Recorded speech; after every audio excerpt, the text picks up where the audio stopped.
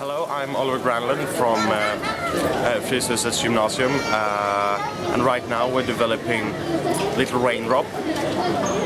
It's a single-player puzzle platformer uh, where the character is a raindrop and he lives in the clouds in this big cloud city with all the other little raindrops. Something bad happens. The worst thing that could ever happen happens. It starts to rain. They all fall down.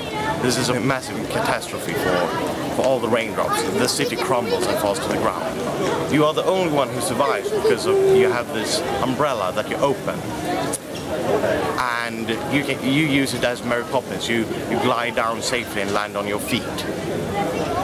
Um, and here is where the game starts.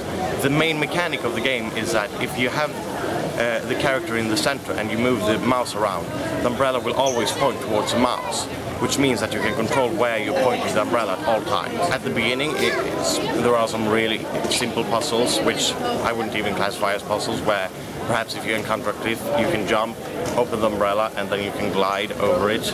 Or perhaps if you encounter water, you can jump, point the umbrella down underneath you, open it, and you can land in it and uh, use it as a boat.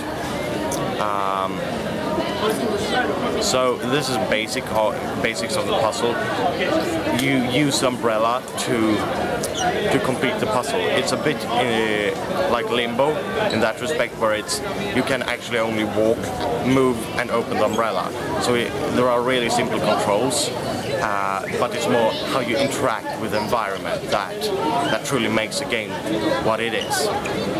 And um, it also has this dark undertone where you'll see the, the, the clothing of other little raindrops which didn't make it in the fall and and yeah, that that's the basics of the game. The game is uh, we're aiming uh, to release it on on Steam uh, when we have a playable demo, um, and. Um, we will actually make demo somewhere around April, I think, and um, and we might do a Kickstarter since we graduate from school really soon. And most of the programs that we use will disappear uh, since the school are pay uh, paying for them and the license is gone uh, once we graduate and uh, some of us might have to move out.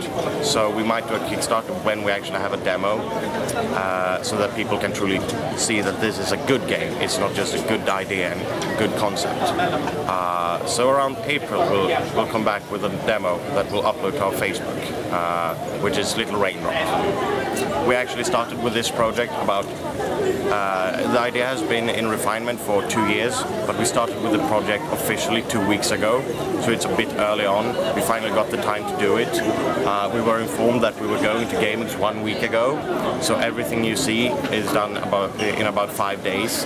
Um, and we've gotten quite far for one week, where the first week was mostly planning.